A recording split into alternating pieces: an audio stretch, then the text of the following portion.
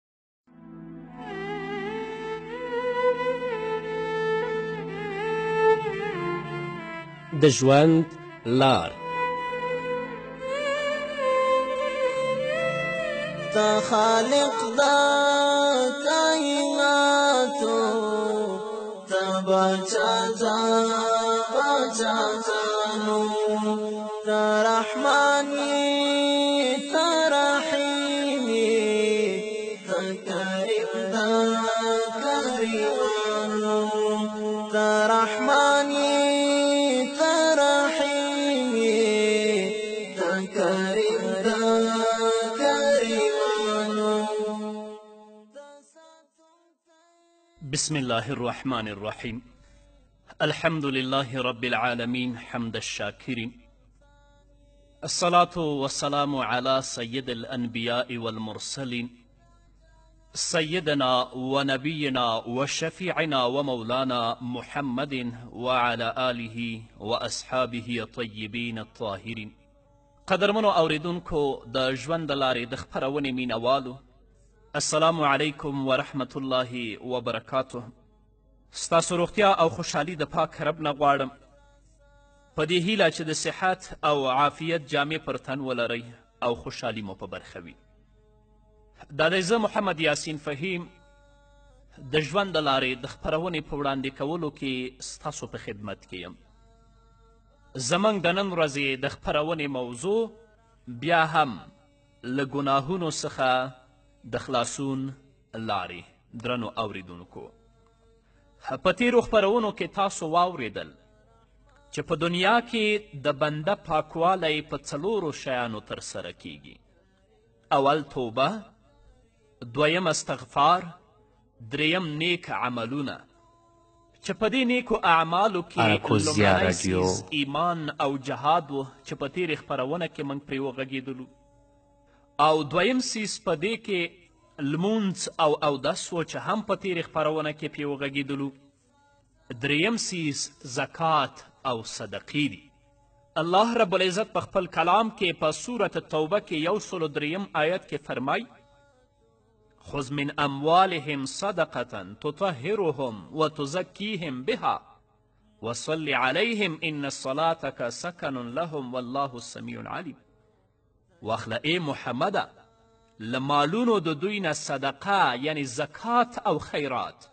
تر څو ښه پاک کړې دوی لره له ګناهونو څخه او زیات او بابرکته کړې مالونه د هغوی په دې سره او ستا دعا کول دوی ته د زړه تسکین او ډاډ دی او یقینا چې الله رب العزت ډیر اوریدونکی او ډیر پوه دی نو که زمونږ یو مسلمان رور یا یوه مسلمانه خور د خپل مال نه چې نصاب ته رسیدلی وي او په هغه باندې کال تیر وي زکات ادا کوي یا نور نفلی صدقات کوي په دې باندې به با الله رب العزت د ده په مال کې برکت اچوي او د دې تر څنګ به الله رب العزت ګناهونه ورته هم رژوي الله به د ګناهونو نه پاکوي امام احمد رحمه الله په خپل مسند کې د نبی کریم صلی الله علیه وسلم یو حدیث را نقل کړی دی فرمای چې د تمیم له قبیلې څخه یو کس محمد رسول الله ته راغی او ویې ویلې ای د الله رسوله زه زیاته شتمنۍ لرم همدارنګه په خپل ورځني ژوند کې زه ډیر عایدات لرم نو ته ماته لار راوښیه چې زه څه وکړم او مال څنګه مصرف کړم محمد رسول الله صلی الله علیه وسلم ورته فرمایی له خپل مال څخه دې زکات وباسه بېشکه چې همدغه زکات پاکوونکی دی چې تا پاکوي له ګناه څخه همدارنګه خپلوان دې پاله یعنی هغوی سره خپلولي مه پرېږده همداراز د غریبانو او بېوزلو د ګاونډیو او سوالګرو حق پکې پیژنه یعنی د خپل مال نه غریبانو ته هم ورکوه بېوزلو ته هم ورکوه ګاونډیانو ته هم ورکوه او سوالګرو ته هم ورکوه چې په دې سره به الله رب العزت ستا ګناهونه مرژوي او د دې ترڅنګ به ستا په مال او ستا په اولاد کې الله رب العزت برکت واچوي څلورم پاکوونکی عمل روژه تراویح او د قدر شپه ده د بخاری او د مسلم حدیث دی نبی کریم صلی الله علیه وسلم فرمای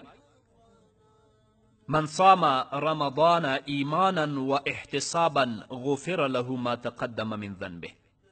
څوک چې د ایمان په غوښتنې او د ثواب په خاطر د رمضان میاشت روژه ونیسي نو مخکیني ګناهونه به الله رب العزت ورته معاف کړي یعنې مخکیني ګناهونه به معاف شي که ته ګناهګار یې خپل ژوند دې په ګناه کې تیر کړی دی خو چې کله د روژې مبارکه میاشت راشي الله ته متوجه شي د الله له ویرې په دې مبارکه میاشت کې روژه ونیسي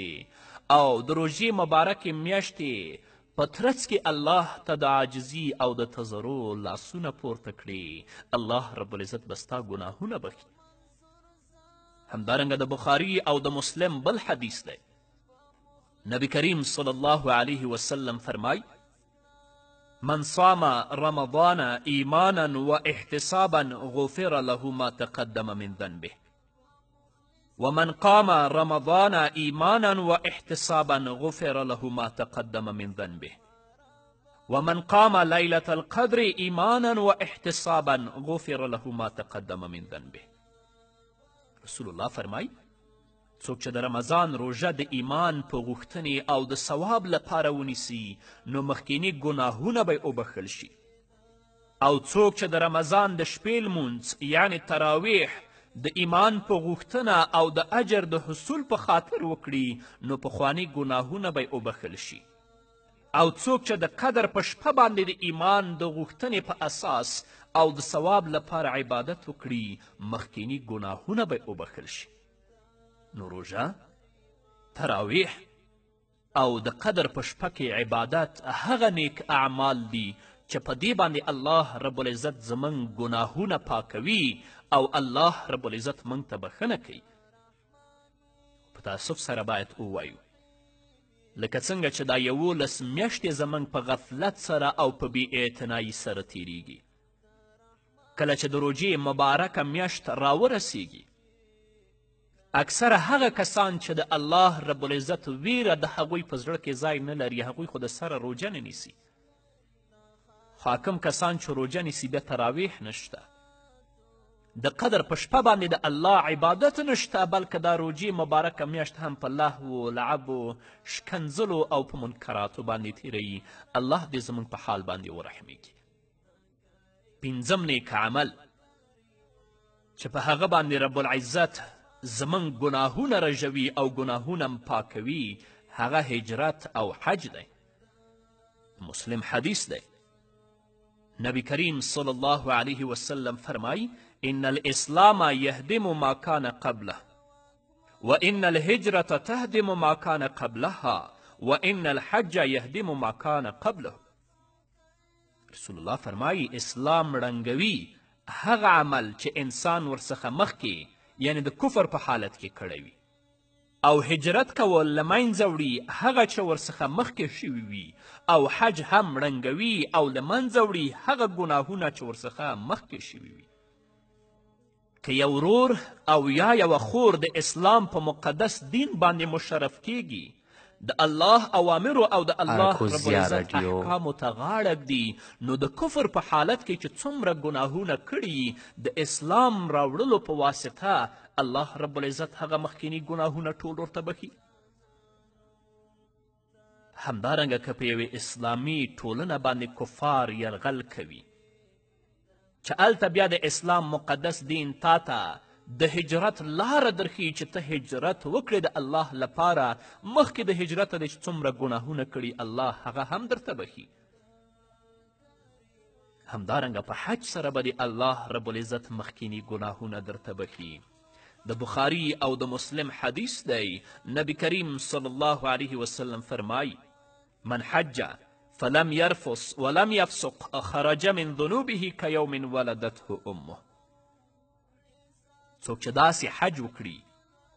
چې هغه د جما کولو څخه په حج کې ډډه وکړي او له ګناهونو او د حج له تجاوزاتو څخه پکې ځان وساتي نو له ګناه څخه به داسې اوزي او پاک بشي لکه څرنګه چې خپلې مور په لومړۍ ورځ زیږولی وي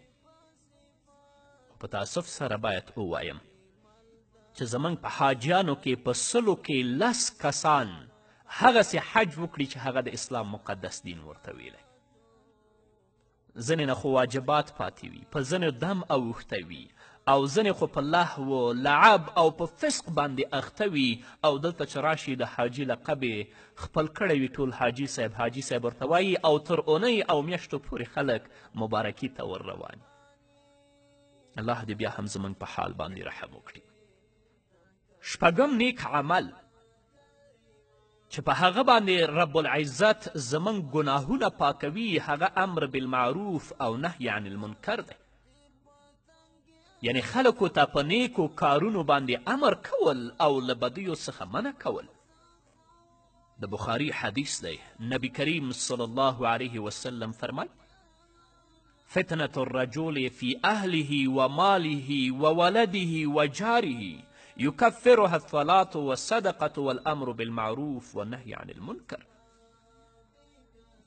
رسول الله فرمای د یو سړي د کورنۍ مال اولاد او ګاونډي په حق کې ګناه او ناروا تصرف محوه کیږي په لمانځه صدقې په نیکي باندې امر او د بدی په منع کولو سره که ته د الله رب العزت د رضا لپاره امر بالمعروف او نهی عن المنکر کوي او هدف و مقصد دیم د الله رب العزت رضا وي په دې سره به الله رب العزت ستا ګناهونه رژوي او الله رب العزت به دې د ګناهونو نه پاکوي اووم نیک عمل چې په هغه سره رب العزت زموږ ګناهونه پاکوي هغه د سورت ملک لوستل دي د ابو داود او د ترمزی حدیث دی راوی د حدیث حضرت ابو هریره رضی الله تعالی عنه دی هغه فرمایي چې محمد رسول الله وفرمایل من القرآن سورة ثلاثون آیتا په قرآن کې د دیرشو آیتونو یو صورت دی چې هغه د خپل لوستونکي سفارش کوي یا د خپل لوستونکي سفارش یې وکړه حتی غفر له وهي تبارک الذي بيده الملک هغه د سورت ملک نو د رب العزت نه ځان لپاره تاسو لپاره ورونو او خویندو لپاره دا توفیق غواړم چې په ورځ کې یا په اونۍ کې خو یو وار سورت ملک ولولو چې په دې باندې الله رب العزت زموږ ګناهونه ورژوي او د حشر په ورځ باندې همدا سورة ملک زمونږ او ستاسو لپاره شفیع وګرځوي چې د الله د عذاب نه مو وژغوري اتم نیک عمل چې هغه باندې الله رب العزت زمون ګناهونه رژوي هغه په محمد رسول الله باندې درود ویل دي صلی الله علیه وسلم امام احمد رحمه الله په خپل مسند کې د نبی کریم صلی الله علیه وسلم یو حدیث را نقل کړی رسول الله فرمایی څوک چې پر ما باندې یو ځل درود ووایي الله رب العزت به لس رحمته پرې راولیږي او د هغې په واسطه به یې لس ګناهونه معاف کړي او لس به یې درجې اوچتې کړي ته یو وار په محمد رسول الله صلی الله علیه وسلم باندې درود ووایه رب العزت به په تا باندې لس رحمتونه رانازل کړي یو وار په محمد رسول الله باندې درود ووایه الله رب العزت به دې لس ګناهونه معاف کړي یو وار په محمد رسول الله باندې درود ووایه الله رب العزت به دې لس درجې اوچتې کړي نو همدا اوس چې ټول زما غږ اورئ په محمد رسول الله باندې درود ووایي اللهم صل علی محمد وعلى آل محمد كما صليت على إبراهيم وعلى آل إبراهيم إنك حميد مجيد نور بم واورو درنو اوریدونکو خود یوې دمې نه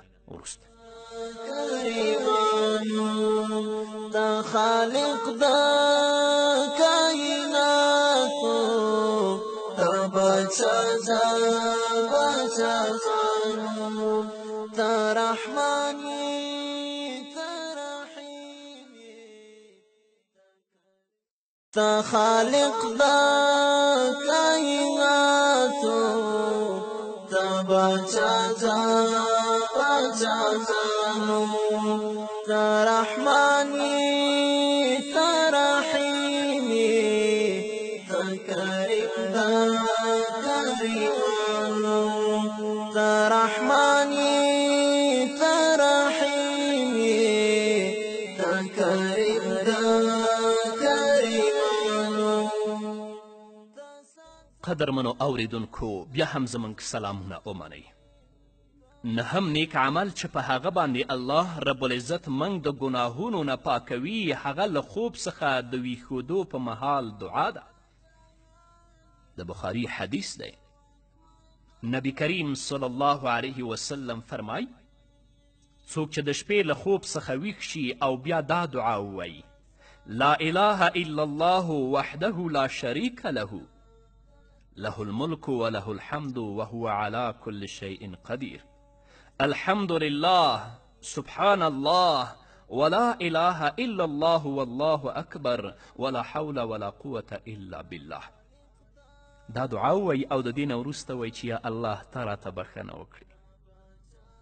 نو رسول الله فرمایي چې کومه دعا کوي الله به دعا قبلوي او الله به ورته بښنه کوي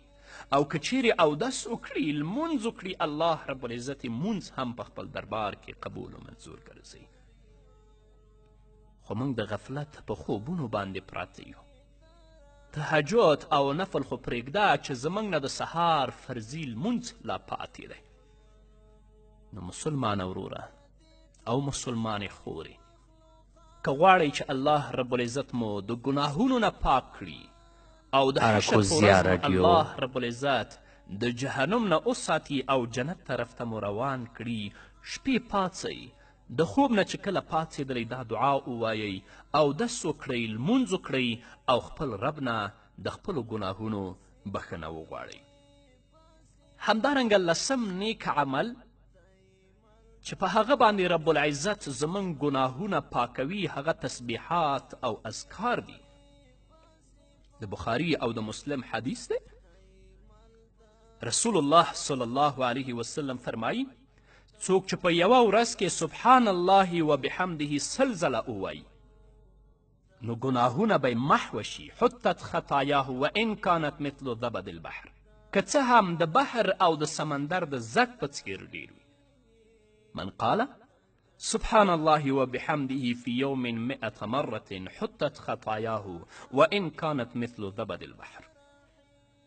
په ورځ کې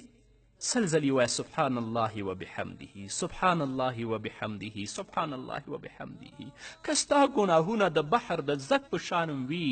الله رب العزت به د دغه تسبیحاتو په برکت چې ته لولې الله به هغه درته معاف کړي همدارنګه نبی کریم صلی الله علیه وسلم فرمایي څوک چې په ورځ کې دغه کلمه لا اله الا الله وحده لا شریک له له الملک وله الحمد یحیی و یمیت وهو علی کل شیء قدیر همدغه کلمه سل ځله ووایي نو د لسو مریانو د آزادولو ثواب به الله رب العزت ورکړي په عملنامه کې به سل نیکي ولیکل شي سل بدي به الله رب العزت ورته معاف کړي او هغه به په دې ورځ د ده لپاره له شیطان څخه ساتونکي وي تر دې چې بېګا شي که ته همدغه کلمه په سهار کې ووایې